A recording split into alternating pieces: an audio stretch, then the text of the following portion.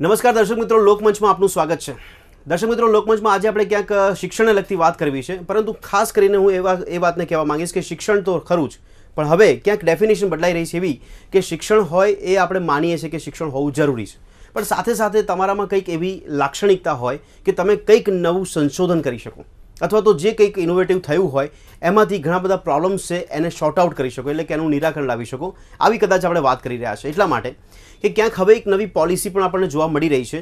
GTU દ્વારા એક policy જોવા મળી રહી છે. પરંતુ હું કહેવાનું મને એ થાય કે ભણતો વિદ્યાર્થી પણ ઉદ્યોગ સાહસિક બની શકે છે.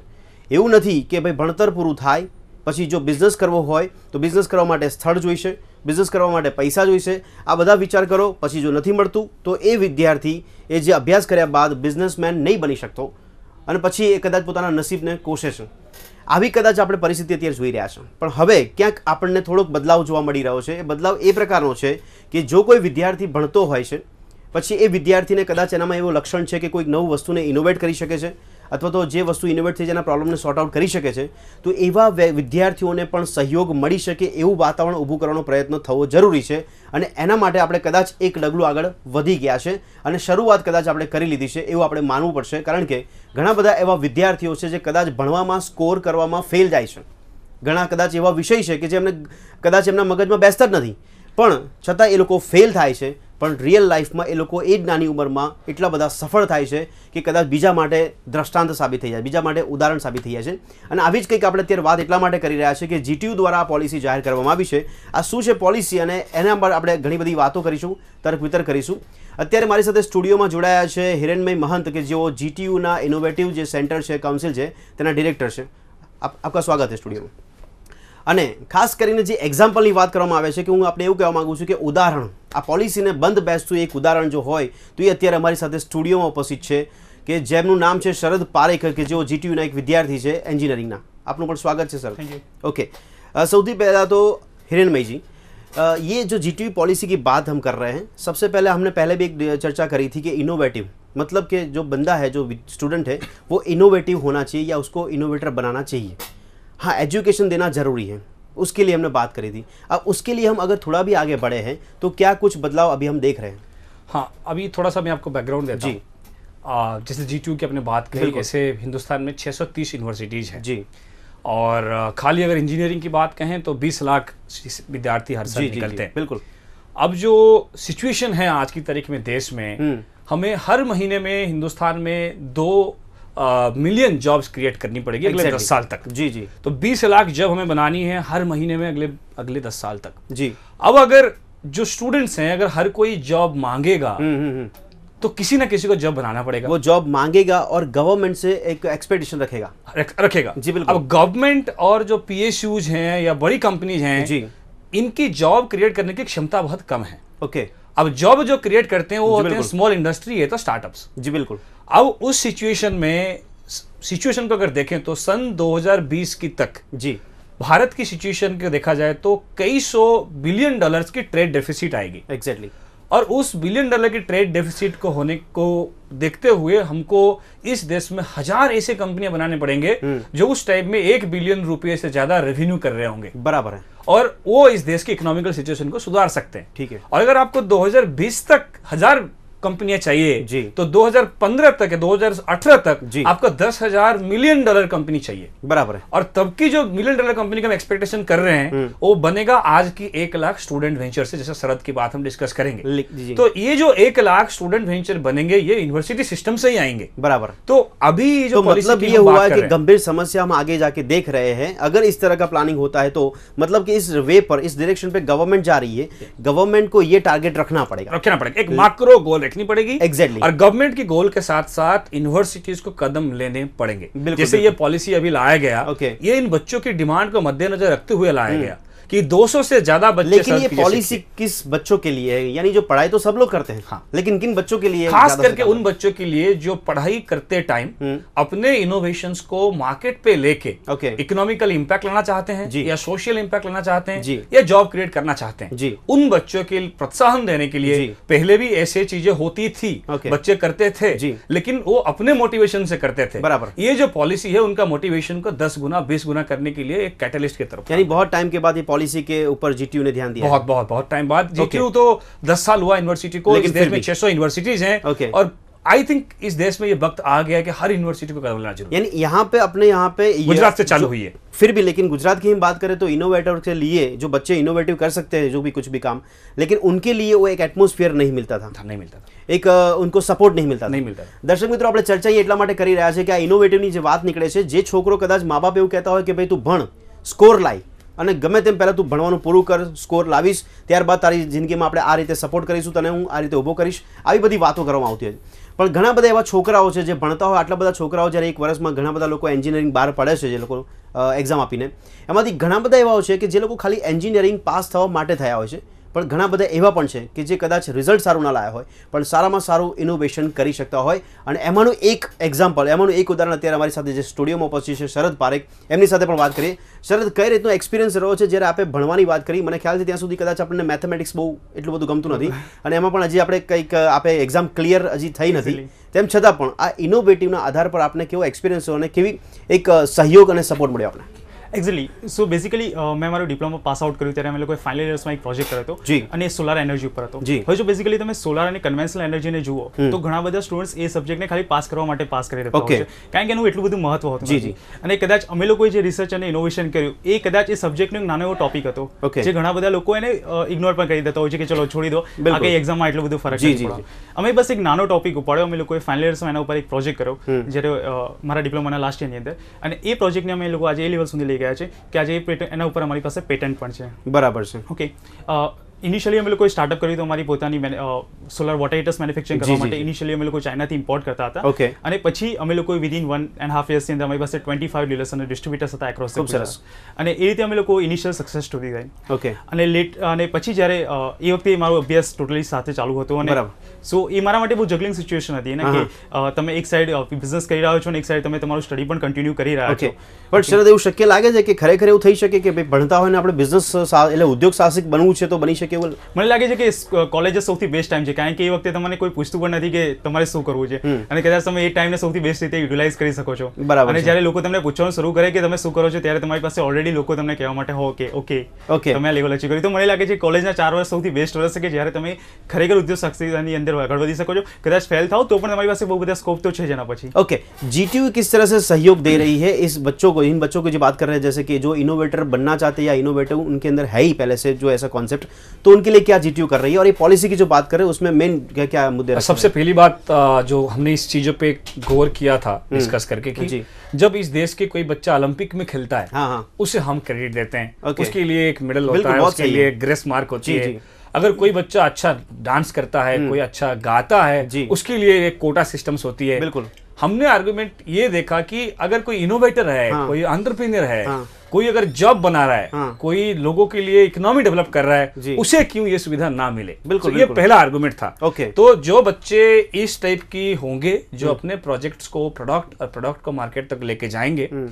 उन्हें वाइस चांसलर साहब ने डिसाइड किया अपनी कमेटी को लेके जी। उन्हें दस टका तक अटेंडेंस पहली फेजेस में छूट दी जाएगी ठीक है, ठीक है। और एक स्टूडेंट अगर अपना प्रोजेक्ट को फाइनल ईयर तक लेके एंटरप्रेन्योर बनना चाहता हम्म। है तो उसे बीस टका तक छूट मिलेगी क्लास में नहीं आने के लिए और वो जो करे इंडस्ट्री में जाके करे कहीं से मिलकर करे हम्म। उसके साथ साथ उनको ग्रेस मार्क मिलने की भी संभावना है अगर वो परफॉर्म सरद जैसा बात करें तो जी, जी। दूसरी बात जब ये बच्चे काम करते हम्म। हैं तो इनके लिए एक ऑफ़िस स्पेस अफोर्ड करना पॉसिबल नहीं होता एग्जैक्टली हमने डिसाइड किया है कि कम से कम एक पचास हज़ार स्क्वायर फीट की जगह हम्म। इनको मुफ़्त में दी जाएगी ऑफ़िस फर्निश बना के बराबर। वहाँ से इनके जैसे बच्चे पढ़ाई करने के बाद लैब से कॉलेज से निकलने के बाद वहाँ से उनको कंप्यूटर फैसिलिटी केबिन्स मिलेगा जहाँ वो अपने कंपनी यानी सबसे पहली बात कि जीटीयू में जीटीयू के थ्रू ये हो रहा है कि जो बच्चे इनोवेटिव करना चाहते हैं कुछ भी काम तो उनको अगर आ, कुछ भी हेल्प चाहिए तो पहले जीटीयू की डिमांड के हिसाब से आपने बोला कि पहले उनको एक मार्क्स के लिए जो पढ़ाई करते हैं वो न बिगड़े इसीलिए वो स्कोरिंग कर सके तो उसको भी हेल्प उनको एक मोटिवेशन मिलता दूसरी बात अगर ये कॉन्सेप्ट उनका क्लियर हो जाता है वो बना के बाहर आते हैं तो उनको अगर आगे उसको डेवलप करना है बिज़नेस करना है चाहिए। ऑफ़िस स्पेस चाहिए। तो उनके लिए जीटीयू हेल्प करेगी। और ये मुफ़्त। मुफ़्त, बाकी। जहाँ भी इंक्यूबेटर्स हैं पूरे दुनिया में पाँच हज़ार इंक्यूबेटर्स हैं अमेरिका में हज़ार यूरोप में हज़ार हिंदुस्तान में सिर्फ़ साठ। बराबर। उन साठ में भी वो लोग बच्चों से एक्सपेक्ट करते हैं कि आप हमें दस टका बीस टका इक्विटी दे दो। हाँ। लेकिन हम कहते हैं जब बच्चा क्रिएटिव काम चालू कर रहा है उसे हम उस नज़र से क्यों देखें कि उसे क्या मिलने वाला है? बराबर इस नज़र से देखना चाहिए हम उनको क्या देने वाले हैं। तो ये पहला सिस्टम से जिसमें हम कोशिश कर रहे हैं कि इन बच्चों को क्या दे सकते हैं उस नजर से देखें जी, जी, जी। तो इसमें हमने एक ये भी सोचा है कि हर एक कॉलेज 560 कॉलेजेस हैं जी, जी। हर एक कॉलेज को कहा जा रहा है कि आप दो से तीन हजार स्क्वायर फीट की ऑफिस स्पेस ओके। अपने कॉलेज में उन बच्चों को दीजिए बराबर। ताकि बच्चा अगर जूनागढ़ में भी है हाँ। तो उसे अहमदाबाद या बॉम्बे जाने की जरूरत नहीं है अपना वेंचर सेटअप करने के लिए बराबर और जो लैब्स हैं जो वर्कशॉप्स जी। हैं उनको 24 घंटा खुला रखने के लिए इनकी जैसे इनोवेटर्स को हमने कॉलेजेस को कहा है અભી कि आप पे જીટીયુ करना। की વાત કર રહ્યા આપ લેકિન શરદ આપને પૂછવાનું મન એ થાય છે કે કોલેજીસમાં જે છોકરાઓ ભણતા હોય છે કદાચ એ લોકોને એવું એટમોસ્ફિયર આપવામાં નથી આવતું એવું આપણે ત્યાં વધારે પ્રમાણ જોવા મળે છે આપે બીજું કે બીજું કીધું કે વિદ્યાર્થી લેવલમાં જ વિદ્યાર્થી આપણે ભ- કાળમાં ભણતા હોય ત્યારે આપણે ઉદ્યોગ સાહસી બની શકીએ છીએ પણ આપણામાં એક ઇનોવેશન કરવાનું એક અ, લક્ષણ હોવું જોઈએ પહેલી વસ્તુ તો એ કદાચ જો બનાવવા માટે કોઈ વિદ્યાર્થી તૈયાર થાય છે તો ઘણા બધા વિદ્યાર્થીઓની એવી માનસિકતા હોય છે કે ભાઈ આપણે અત્યારે ભણીએ જ છે ખાલી. ભણ્યા પછી આપણે કંઈક વિચારીશું અથવા પપ્પા કે જે ધંધો છે આપણો એમાં આપણે લાગી જઈશું. આવી વિચારસરણી ધરાવે છે. એનો મતલબ કે ક્યાંક કોલેજનું વાતાવરણ સપોર્ટ નથી કરતું એવું પણ પ્રસ્થાપિત થાય છે.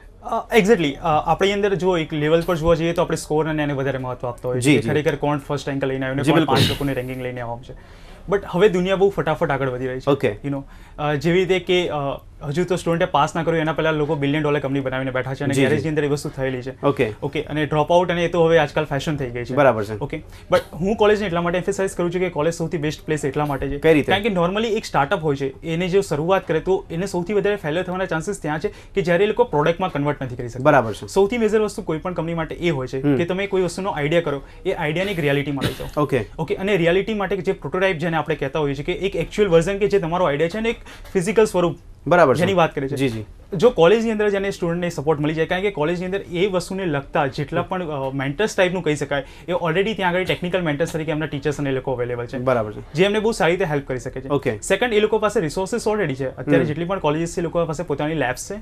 આ લેબ્સ છે પણ એનો ઉપયોગ તો કરવામાં આવતો જ હશે ને? કરવા નથી એનો એના માટે અત્યારે હાલ કોઈ એવું ઠોસ સ્વરૂપ નથી કે જેની અંદર એ લોકો યુટિલાઇઝ કરી શકે. જો. લેબને સ્ટુડન્ટ્સ માટે ઓપન કરવામાં આવે કે વીકના ચાર કે પાંચ કલાક તમારે જે રીતે અહીંયા જે પણ કરવું હોય તે કરવા માટે છૂટી છે.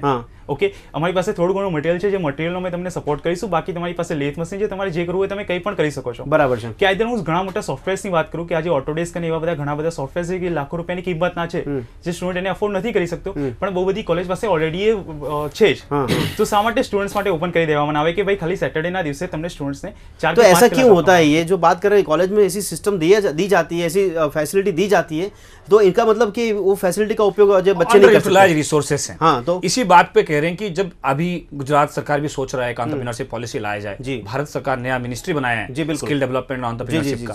देखिए एक चीज़ इस सब प्रोसेस में मुद्दा होने चाहिए कि हमें नया रिसोर्सेस की तरफ़ नहीं देखना चाहिए। हाँ। जो रिसोर्सेस अभी हैं उन्हें प्रॉपरली यूटिलाइज करनी चाहिए।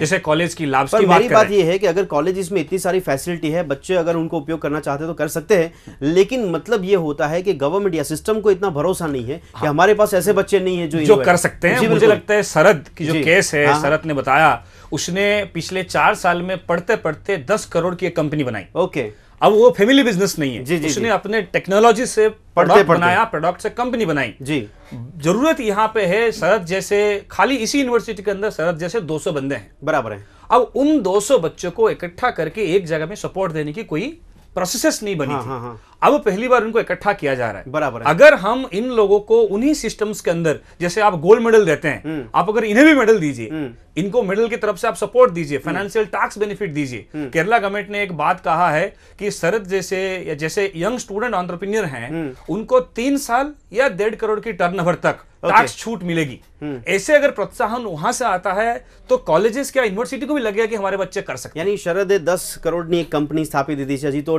લાસ્ટ યરમાં આપ છો એન્જિનિયરિંગમાં ઓકે અને એક સવાલ એ થાય છે આપણે ત્યાં એવી પણ માનસિકતા છે પછી સ્ટુડન્ટ્સની વાત નથી કરતા પણ જે સિસ્ટમની પણ વાત કરી રહ્યા છે સિસ્ટમમાં જે લોકો બુદ્ધિજીવીઓ બેઠા છે એજ્યુકેટેડ બેઠા છે જે લોકો એ લોકો પણ ક્યાંક જે વ્યક્તિ કંઈક સારું કરવા માંગતો હોય એને એવું એટમોસ્ફિયર કે એવું બળ કે એવો સહયોગ આપવામાં નથી આવતો અથવા તો એને એ ઉજાગર કરવા માટે કોઈ સહયોગ નથી આપતા True. આવું મેક્સિમમ જોવા મળે છે એક્ઝેક્ટલી શું કરી શકાય છે કદાચ આપણામાં કલ્ચરલ ડિફરન્સ છે Okay. રહ્યો જો ફોરેનની કોઈ કંપની હોય અને એ જો સ્ટાર્ટઅપ તરીકે લઈએ તો હા, આપણે એને બહુ બિલકુલ. એમ્ફેસાઇઝ કરીએ કે સ્ટીવ જોબ્સે ગેરેજમાં બનાવી દીધું હા. પણ ઇન્ડિયામાં પણ એવા ઘણા બધા લોકો છે કે જે લોકોએ ગેરેજમાં નહીં પણ એમના બેડરૂમમાં તો કંપની બનાવેલી છે બરાબર છે. કદાચ આપણે એ લોકોને મિસ કરી રહ્યા Okay. છે ઓકે જેવી રીતે કે મારું પર્સનલ એક્ઝામ્પલ કહું જી, તો જી. જ્યાં સુધી અ, હમણાં અમે લોકો રિસન્ટલી એક એમઆઈટીમાં એક એવોર્ડ જીતીને આવ્યા. બરાબર છે ઓકે અને એના પછી જે અમને ક્રેડિટેબિલિટી મળી હા. એ કદાચ અમારી પાસે પહેલા નહોતી ઓકે તો કદાચ કઈ ખાતે એવું પણ બની રહ્યું છે કે આપણા લોકો જ્યાં સુધી બહાર જઈને કઈ સિક્કો લઈને નથી આવતા ત્યાં સુધી આપણે લોકોને એટલી વેલ્યુએશન નથી આપી શકતા હમ. તો કદાચ એ વસ્તુને અહીંયાથી પણ શરૂઆત કરવાની જરૂર છે કે ઇનિશિયલી જ્યારે લોકો કંઈક કરે ત્યારે જે લોકોને પ્રોત્સાહન મળી જાય. તો કદાચ એ લોકો જે બહાર જતા છે એ લોકો કદાચ અહીંયા જ અટકીને કદાચ અહીંયા વધારે સારી રીતે કરે ઓકે એટલે ક્યાંક આપણાથી એટલી બધી મોટી માનસિકતા જોવા મળે છે કે બહારની કંપનીનો કોઈ સિક્કો લાગ્યો હોય ત્યારે આપણને ખબર પડે છે કે આપણો એક ઇન્ડિયન કે આપણો એક ભારતીય છે કે જે ત્યાં ગયો તો એનો ઉપયોગ કર્યો છે ફોરેન વાળાએ અને આપણે પછી એને પ્રસ્થાપિત કરી હા, અને પછી આપણે એ પ્રયત્ન કરીએ છીએ કે હવે આ પાછો આવે. હા બિલકુલ. પણ જ્યારે આપણી પાસે જ્યારે તક છે ત્યારે કદાચ આપણે એને ઝડપવા નથી માંગતા. ઓકે એટલે જ્યારે આપણી પાસે હોય છે ત્યારે આપણને ખ્યાલ બી નથી આવતો. પણ જ્યારે भारतीय सिक्को वागी ना આવે अपने डिमांड करिए कि आपने आवे तो सामने अच्छा इस मानसिकता को बदलने के लिए क्या कर सकते हैं दूसरी बात इससे क्या फ़ायदा हो सकता है जी ने पॉलिसी की बात करी मैं आगे की बात कर रहा हूँ गवर्नमेंट बहुत अपने हिसाब से काम कर रही है कोशिश कर रही है कि भाई यहाँ पे जॉब क्रिएट हो जाए लेकिन उसके लिए जो पॉलिसी बनाने की बात चल रही है अगर आप इनोवेशन की बात कर रहे हो तो इस तरह के बच्चे अगर बाहर आते हैं और उनको ऐसा सहयोग दिया जाता है समाज के लिए क्या फ़ायदा हो सकता है इससे सबसे पहली बात जो है अभी ये बच्चे जब समाज में आएँगे जी। सबसे बड़ी बात इसमें फ़ायदा तो ये होने वाली है कि जो जॉब डेफिसिट है देश जी, का जी, वो खत्म हो जाएगा जी दूसरी फ़ायदा ये है कि जब एक अच्छा इंजीनियर निकलता है Okay. वो एक अच्छा ह्यूमन बींग भी बन के निकलता है बराबर तीसरी फ़ायदा ये है इस पूरे प्रोसेस में कि जो यूनिवर्सिटी का मेन रोल है हाँ। वो एग्जामिनेशन लेने का नहीं है जी यूनिवर्सिटी का रोल है नॉलेज क्रिएट करना। नॉलेज डिसमिनेट करना हाँ। और उस नॉलेज को अप्लाई करके सोशल बेनिफिट देना हाँ। अभी तक ये जो 630 यूनिवर्सिटीज हैं देश में कहीं ना कहीं हम यूनिवर्सिटी को एग्जामिनेशन बॉडी की तरफ़ मान लेते हैं। जी जी। ये कोई एग्ज़ाम कंडक्टिंग बॉडी नहीं है। पर इससे एक मैसेज जाता है ना कि बच्चों के लिए एक मैसेज ये जाता है कि भाई आप इनोवेटर बनो। अब आगे के समय में ऐसा बोला जाएगा कि आपको इनोवेटर बनना है तो वो वैसी उसी दौड़ में चले जाएँगे ना फिर। वो इनोवेटर नहीं बन सकते फिर भी उनको धक्का मारा जाएगा। हाँ तो इसमें एक बात जो आप कह रहे हैं कि क्या सबको एंटरप्रेन्योर इनोवेटर बनना है? जी। देखिए हम इनोवेटर और को परिभाषा ऐसे देते हैं। हाँ। इनोवेटर और एंटरप्रेन्योर वो है जो अपने कोई प्रॉब्लम्स को सॉल्व करते हैं। बराबर है। और प्रॉब्लम सॉल्व करने का कैपेसिटी सबके पास होनी चाहिए जी जी जी अगर आप प्रॉब्लम सॉल्व करें जरूरी नहीं है आप ही एंटरप्रेन्योर बने बराबर है हम इस पॉलिसी में ये डिस्कस कर रहे हैं कि अगर कोई टेक्नोलॉजी बनाता है अगर वो एंटरप्रेन्योर नहीं बनना चाहता है तो हम दूसरे के द्वारा इस टेक्नोलॉजी को પણ मार्केट જોબ पे કે ले लिए सकते बहुत हैं બડા પ્રશ્ન હે શરદ આપને શું લાગે છે કે જોબ માટે આપણા ત્યાં સૌથી મોટો બેરોજગારીનો પ્રશ્ન આપણે ત્યાં થાય છે સિસ્ટમ આપણા ત્યાં દેશની સરકાર ઘણો બધા પ્રયત્નો કરવાનો પ્ર- વાત કરી રહી છે પરંતુ આ પ્રકાર જો સહયોગ આપવામાં આવે જેટલા પણ દેશના ખૂણા ખૂણામાં જે ઇનોવેટર્સ છે એ લોકોને આ રીતે આપણે કીધું એ પ્રમાણે સહયોગ આપવામાં આવે તો દરેક વ્યક્તિમાં ક્યાંક શરદ આપણને મળી જાય અને એનાથી શું ફાયદો થઈ શકે આ પ્રશ્ન સોલ્વ થઈ શકે છે ખરી ડેફિનેટલી કદાચ હું એને એકદમ નાના લેવલ પર પણ વાત કરું જી. તો આજે અમારી કંપનીની અંદર જ અમારી મારા ક્લાસના જે બેસ્ટ સ્ટુડન્ટ્સ હતા એ હા. અત્યારે હાલ અમારી સાથે વર્ક કરે છે ઓકે બહુ હું સરસ વધારે નથી કહેતો કે ખાલી જો દરેક ક્લાસની અંદરથી આવા ચાર કે પાંચ જણા જી, નીકળે જી, અને જી. એ લોકો પણ બે બે જણાને સાથે જી. સા- કામ કરે લે હા.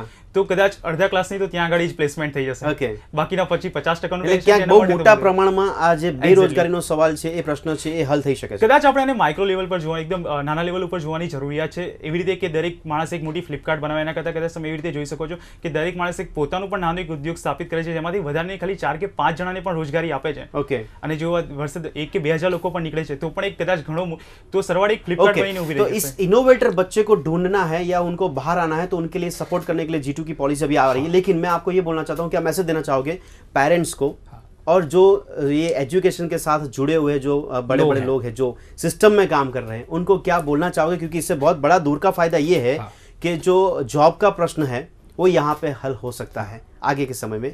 तो इसके लिए आप उन लोगों को क्या मैसेज देना चाहोगे? पहली मैसेज तो बहुत सिंपल है कि पेरेंट्स और सोसाइटी हम्म।